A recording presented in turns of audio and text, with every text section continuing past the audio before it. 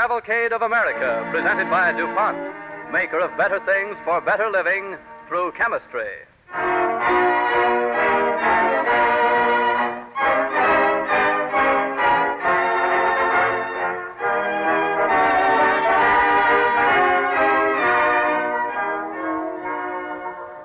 The Cavalcade of America presents Kenneth Delmar in an original radio play by Robert Tallman called The Trials and Triumphs of Horatio Alger. Horatio Alger struck an authentically American note in popular fiction, and to millions of youthful readers in this country, his writings represented a fundamental trait in the American character the will to succeed. In support of Kenneth Delmar as Horatio Alger are the Cavalcade Players. Our orchestra and the original musical score are under the direction of Don Voorhees. DuPont, maker of better things for better living through chemistry, presents Kenneth Delmar as Horatio Alger on the Cavalcade of America. Oh,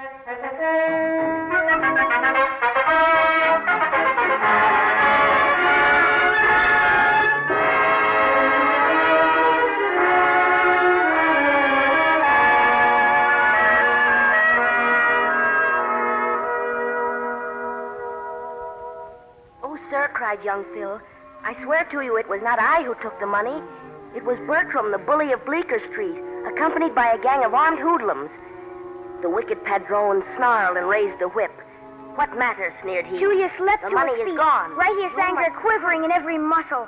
I commend you, sir, ordered our young hero, now master of the cruel bully, whom he had caught unarmed at last. I command you to release this lady and what was restore to her the reward, young property leader? that is hers He is now manager of the. Brooklyn warehouse, and may, if he continues in the paths of virtue, even become rich. For the ragged tramp he had rescued was, as you may have guessed, none other than Otis Fitzsimmons Hastings, the wealthy importer, wearing a disguise. Of such is the substance of over a hundred books which thrilled American lads for generations. The books of Horatio Alger, Jr. But little did the boys who read them know that the man who wrote them had his trials as well as triumphs, even as they. For though born into a prosperous home, the lad Horatio Alger knew disappointment early in life, as our listeners will shortly learn. Time to put your blocks away, Horatio. Your father will be returning soon. Oh, please, Nanny, just let me finish this tower. It's the Tower of Babel, and it's going to reach to the moon. well, all right. But your father will be very cross with me if he catches us. oh, there's Mummy. I want to show it to her. Mummy! Yes, Horatio. What is it? Look, Mummy, see what I've built. Oh, it's lovely, Horatio. Miss Cunningham, Yes, Mrs. Alger. where did these blocks come from? Oh, Mrs. Alger, I know the Reverend Mr. Alger forbade it, but I couldn't bear to see the little lad fretting without proper toys to play with. So I brought them in. And... I'm glad you did, Miss Cunningham. I'm afraid Mr. Alger is inclined to be a little too exacting with our boy. you like the blocks very much, don't you, darling? They're the best blocks in the world. I'm an engineer. well, maybe we can induce your father to let you keep them. Oh, Mrs. Alger, there's the front door now. We'd better hide the blocks. No, no, Miss Cunningham. This time we stand our ground. Well, Good evening, my dear. Good evening. Evening, governess. Good evening, sir. Father, look. I'm building the Tower of Babel. It's going to reach clear to the moon. What's this? Miss Cunningham, what's the meaning of this? Why isn't the lad at his studies? Well, uh, m- m- Mr. Alger, sir, I thought. It was my idea, Horatio. The lad can't have all studies and no play. It's not human. So you call this the Tower of Babel, do you, Horatio? Yes, and it's really going to reach to the moon, Father. You'll see. Yes. We shall see about that. Father, please. There. Sic transit gloria mundi. Thus pass away the vanities of this world. Build your mind. Learning is a structure no man can demolish. My beautiful tower. You've torn it all down. It's cruel, Horatio. That's what it is. Why can't you let our child have any pleasure? Not foolish pleasures. He may build, but not with blocks, the cathedral of the mind, a great cathedral. If this happens again, I shall forbid you to see our son. Forbid me to see my own son. Oh, you're monstrous. I can't bear it. Go to your room, my dear. Most unseemly. Now, Miss Cunningham, here are Horatio's exercises for tomorrow. You'll see that he applies himself diligently. More Plato, Mr. Alger? Yes. It's to be memorized both in the Latin and the original Greek. Mr. Alger, I'm afraid you'd better get another governess for little Horatio. Why, what's the trouble? Aren't you well treated here? Yes, sir, I am. But I was employed to raise a child, not a pulpit.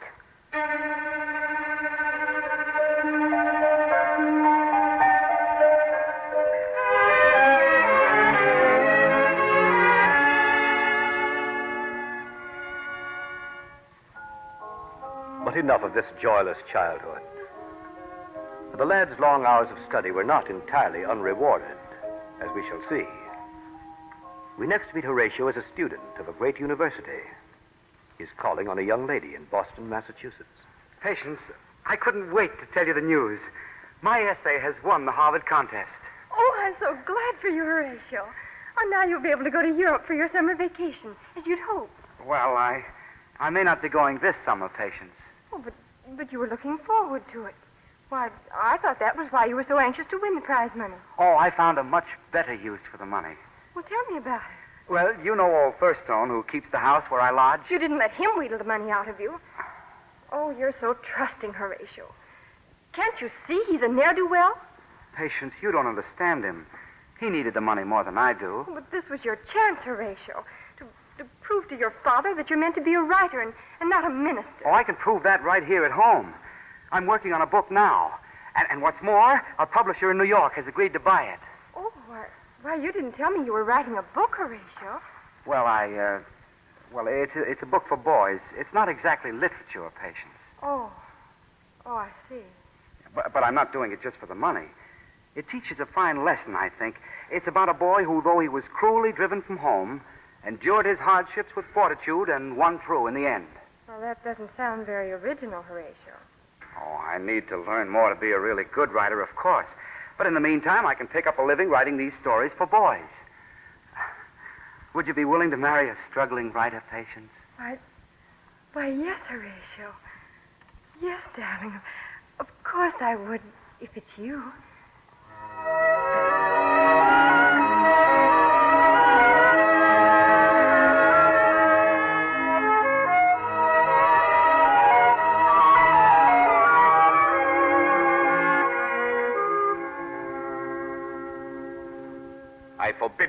Forbid it, I tell you. I absolutely forbid it. It won't do you any good to forbid it, Father.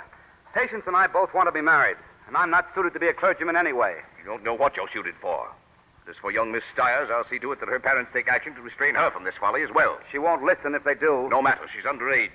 Marriage can be prevented at any rate. Father, you wouldn't do that. You see whether I would. Very well. Then I'm through with trying to please you any longer. From now on, I'm on my own. I shall devote my life to becoming a great author. Patience will wait for me. I know. You, a great author. You who can't open your mouth without uttering some nonsensical platitude. I suppose you call this rubbish. The young miner. Or Tom Nelson out west. I suppose you call this the work of a future great author. Well, at least it states certain eternal moral truths. How honesty and perseverance were rewarded with success. Style is something that can be learned.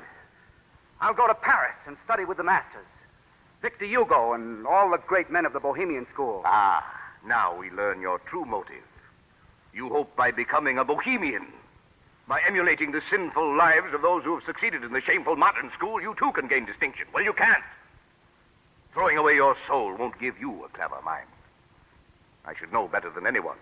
I tried to educate you. But even as a child, you preferred to play with blocks.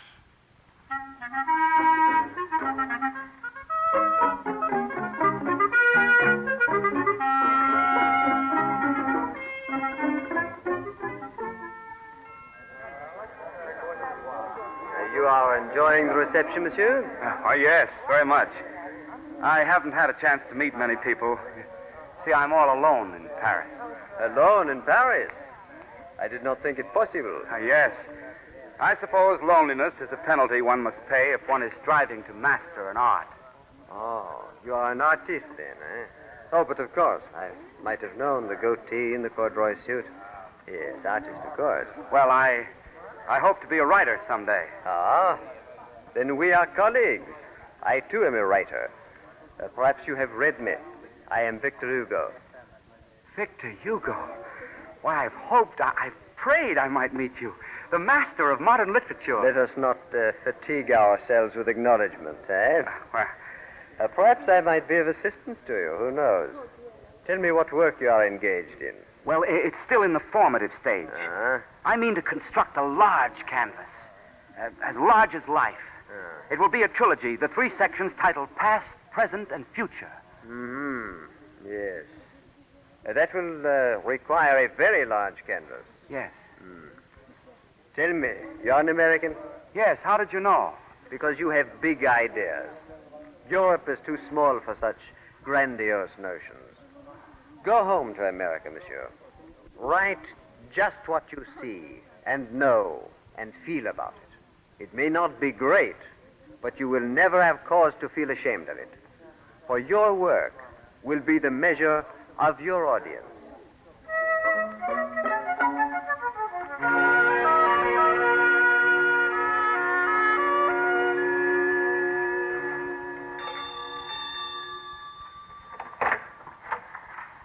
Mr. Alger, when did you get home to America? Just a few days ago, I came straight here, Mrs. Stiers.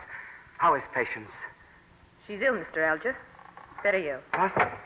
Come, I'll take you to her. Ill? But what is it? It was a fever. It came suddenly. She kept asking for you. Why didn't someone write me?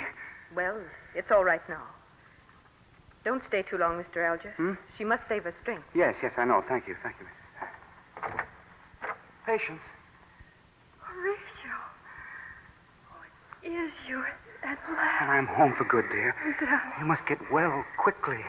Horatio, if I shouldn't get well, I, what are you talking about? well, I, I might not. You, you never can tell.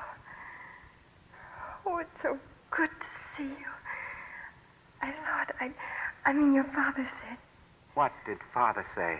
oh, it, doesn't matter now. You're here. Tell me about Paris and, and are you a writer yet? Not yet, dear. No, not yet. I have to make a living, you know. I signed a contract with a publisher to write a few books for boys. When I get that money, I'll be able to start my real novel. Oh, it'll be great. I know it will. I only wish. What do you wish, dear? Oh, I, just wish. You're tired, aren't you? No, no, don't go, not yet. Just, just sit here with me for a while. Listen to me, my dear. I must leave you for a short time. Oh, Duty calls me to New York, but I shall be back. And you'll be proud of me. And then I'll never leave you again. Say that again. Just like that. I'll never leave you again.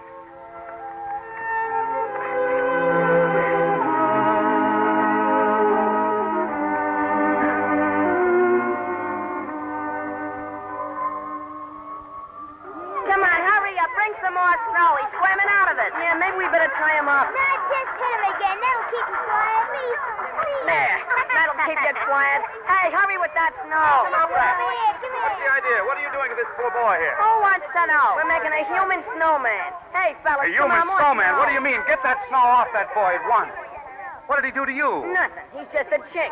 We're hazing chinks today. But why? Why? I don't know. We just done. Get that snow off him and bring him here to me. Hey, you're not a roll man. We don't have to do what you say. Yes, you ah. do. Here, you come along with me, Sonny. Like China Boy. Why, of course. Where were you born? Mott Street. Well, then you're not Chinese at all. You're an American, just like these other boys. Am I really, mister? Certainly you are. Come along. We're going to get you thawed out. Where's your home? At the newsboys' lodging house. That's two, two blocks. Well, then you come along with me, Wing. You let me walk right along beside you like, like white boys? Of course. You're going to walk with your head high from now on, Wing. Now then, tell me about this newsboys' lodging house.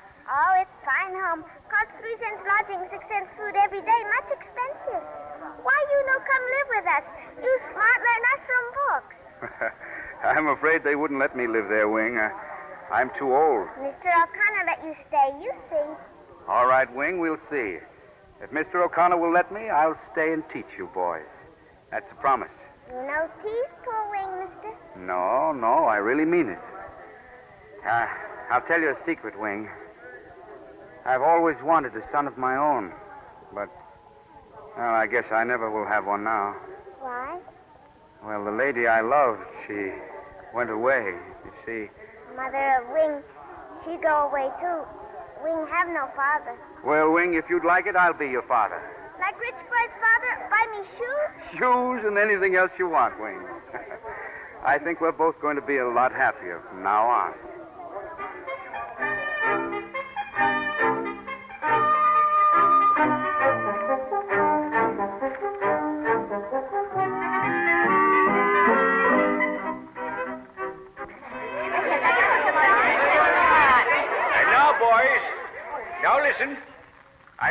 Welcome back an old friend of the Newsboys Lodging House, Mr. Horatio Alger. Boys, boys, I don't want to talk a lot because I know you're all waiting to get at that ice cream. I just want to remind you of some of the things I've been telling you right along. There's no telling how far you boys may go, but you have to work hard, study. You want to be respectable citizens and you want comfort in your old age. When the going gets too hard, just keep thinking ahead to the future. Ah, now get busy on that ice cream. Uh, nice to be home again, eh, Alger? Oh, grand. But where's Wing? I don't see him around. Why, send him on a little errand. He'll hurry back all right to see you. Hey, fellas, listen. It's a fire engine. Hey, come on, let's go out. Come on, come on, Mr. Alger. Don't you want to see the fire engine? Sure, sure I do. All right, Let's come on, go. boys. Hey, look at him. Look at him. Come with you. Hey, Mr. Alger, there comes Wing around the corner now. Hey, Wing, look who's here. Dad! Daddy! Wing! No, Wing! Don't cross now. Stay there. Wing!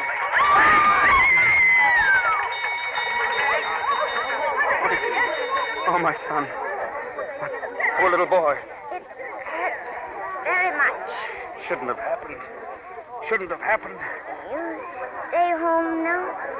You stay Wing. You. Oh, he's, he's gone, Mr. Alger. Oh, the poor little tyke. My poor little boy. Why, O'Connor? Why does it happen like this? It wouldn't have happened that way in your book, would it? Would it, Mr. Alger? No. No, it wouldn't. Would it?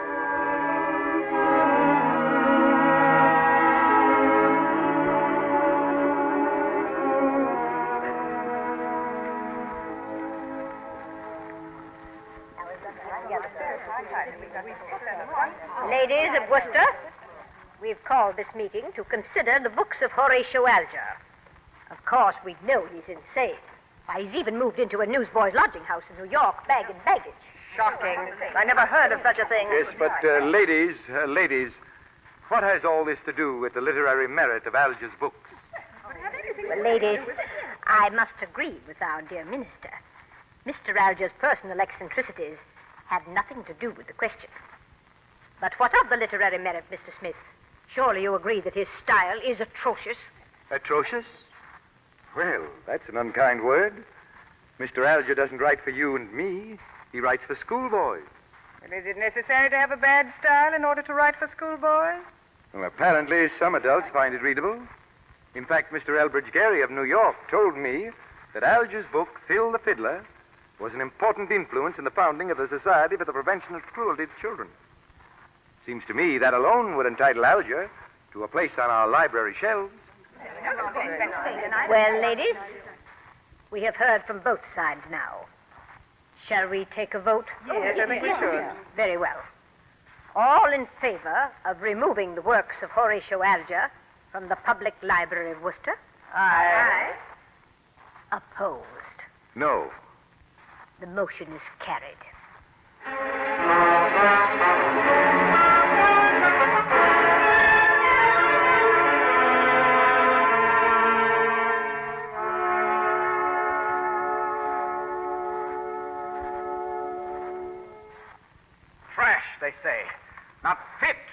For to read. Now, Mr. Alger, don't let it worry you. As your publisher, I can assure you it doesn't mean a thing. Now, uh, uh, when can we expect the last chapters of Sink or Swim? I'm not going to finish it. Not going to finish it. Alger, have you gone mad? Bookshops are clamoring for it all over the country. The suppression of the libraries has increased the demand. Why, this book will make you rich, Alger. I don't care, Rich. I'm working on a serious book, on a grand scale, like Tolstoy. A real work of art. Well, that's fine, Alger. I'm sure it will be a real work of art, but uh, you've got your young readers to think of, you know. Why, sure. They're begging for a new Alger book. You can't let them down now. Well, I suppose not. But after this one, you've got to let me alone. You've got to let me prove that I have talent for another kind of writing. Absolutely, Mr. It's a promise? Shake. Very well, then. I'll have the rest of Sink or Swim in by the end of the week. Good day, gentlemen. Good day, Alger. Good day. Whew. That was a close one. Certainly was. And uh, make out a contract for his next one before he changes. Funny thing how these popular writers have delusions about their own work. For his sake, I hope he'll never find the time to write that great novel he's always talking about.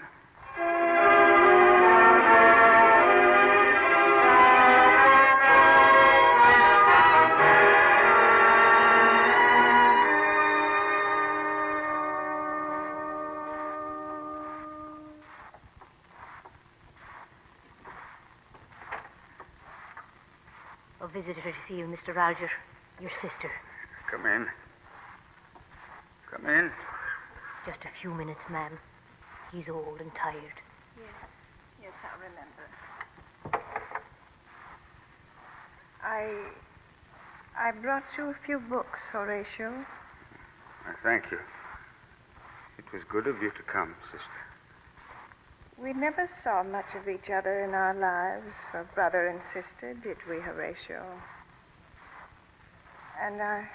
I guess now. Uh, and now I'm dying. No, I can't die now. Must. Still haven't written my book. There's still time, maybe. I write fast, you know. If I could just. Don't. Don't fret yourself, brother. Just. Just try to. There's so little time. That's the trouble. There wasn't enough time. I know. Over a hundred books. Not time for the one book I really wanted to write. It's taking shape already in my mind. Heroic and compassionate. I can still write it. Can't I, sister? Yes. Yeah, of course I can. They'd only bring me pencil and paper. So I could really Oh, write. There. there, Horatio. Don't take on so, darling. You've written enough.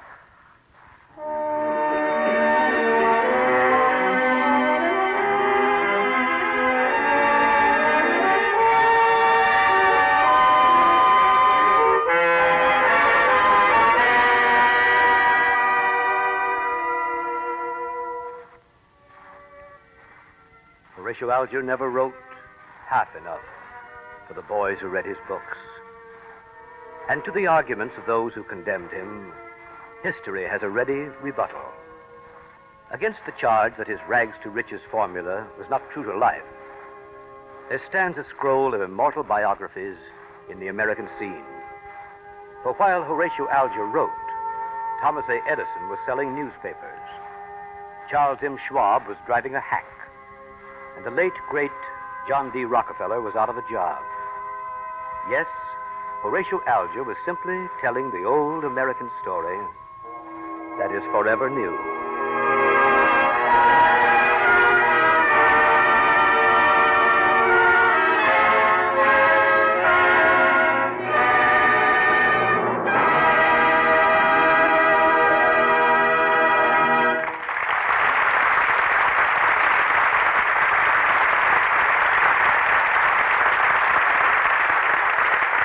Cavalcade of America thanks Kenneth Delmar and the Cavalcade players for their performance of the story of Horatio Alger. And now DuPont brings you news of chemistry at work in our world. Chemistry may be thought of as a shortcut. Much of the research undertaken in DuPont laboratories is a search for quicker, more efficient ways of doing something or making something. For example, the winds and weathers of nature, if we wait long enough, will keep a farmer's fields in good condition. Lightning will manufacture nitrogen, and rain will carry it into the topsoil. But because the chemist has learned a shortcut, the farmer can give his land the nitrogen it needs by buying a bag of DuPont Uramon fertilizer compound without waiting a million years. A million years is too long a time to wait. Or take another example. Nature gives us linseed oil. On exposure to the air, linseed oil forms a tough film, and it's good for mixing paint because of this film. It dries reasonably well in three or four days. But three or four days is a long time, too. Can't we invent another film that will dry faster? asked the DuPont paint chemist.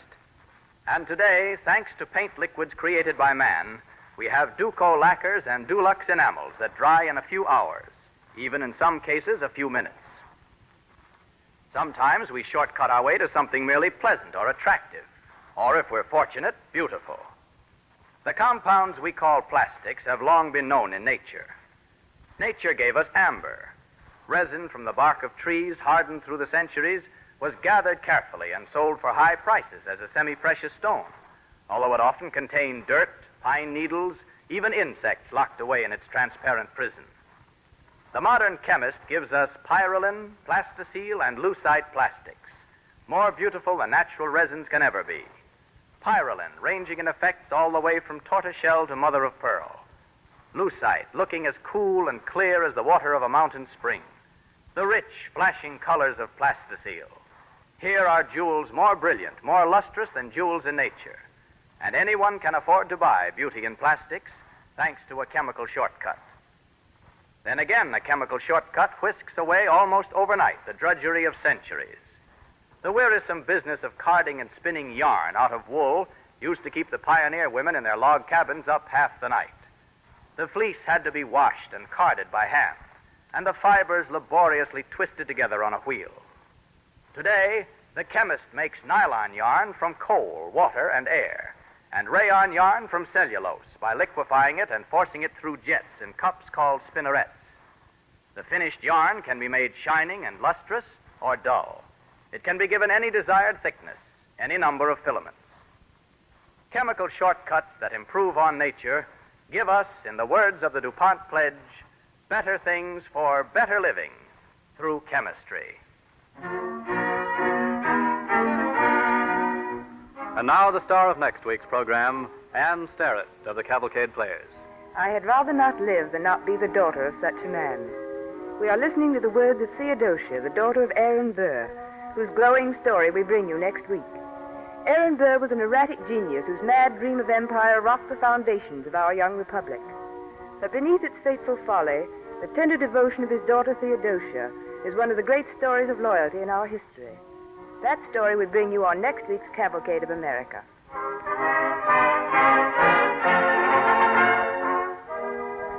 Our cavalcade play was based on the book Alger, a biography without a hero by Herbert R. Mayes, published by the Vanguard Press. On the Cavalcade of America, your announcer is Clayton Collyer, sending best wishes from DuPont.